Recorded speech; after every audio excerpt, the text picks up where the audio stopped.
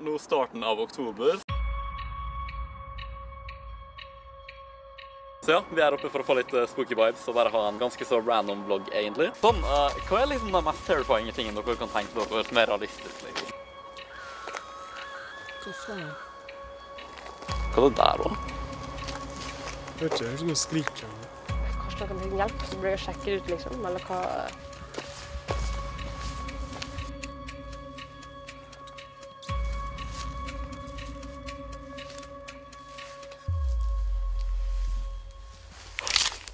Spring, spring!